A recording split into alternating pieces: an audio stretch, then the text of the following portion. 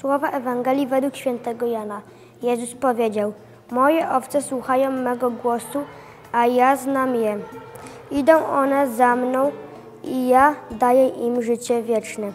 Nie zginą one na wieki i nikt nie wyrwie ich z mojej ręki. Ojciec mój, który mi je dał, jest większy od wszystkich i, nie może, i nikt nie może ich wyrwać z ręki mego Ojca. Ja i Ojciec jedno jesteśmy.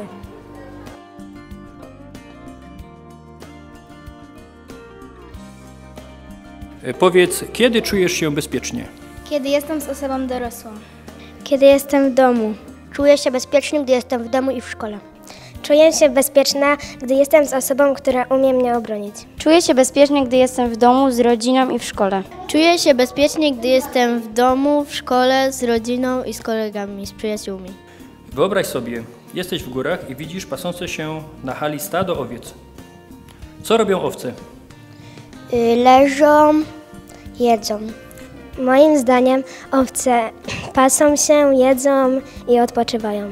Pasą się, jedzą. Biegają, skakają, odpoczywają. Biegają, odpoczywają, gryzą trawę. Chodzą, pasą się. Biegają i skaczą. E, Kto je pilnuje? Baca.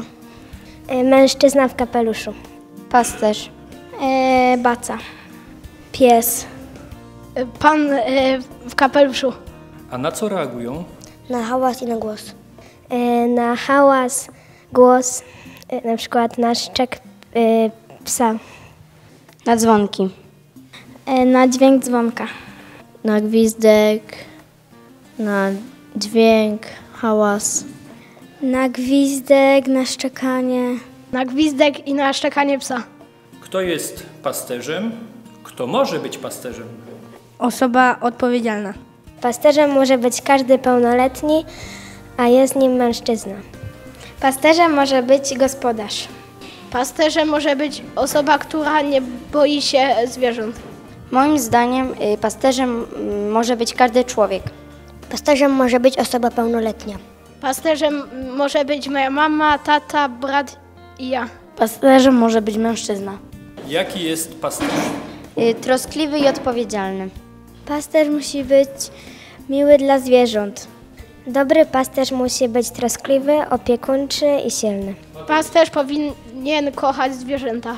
Pasterz powinien być cierpliwy i odpowiedzialny. Dobry pasterz musi być odważny. Pasterz powinien być odważny i dbać o owce.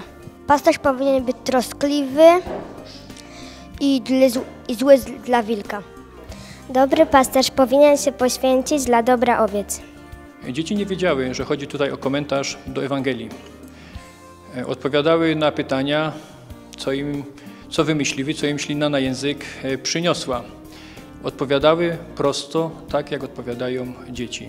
Oczywiście w Ewangelii pasterzem jest Jezus, a owcami to jesteśmy my, ludzie. I chcę zadać Tobie pytanie, czy znasz swojego pasterza? Czy podążasz za Jego głosem?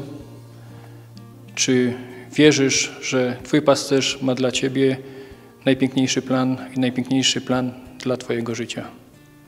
Czy Jezus jest Twoim pasterzem? Czy znasz Jego głos? Czy podążasz za Nim?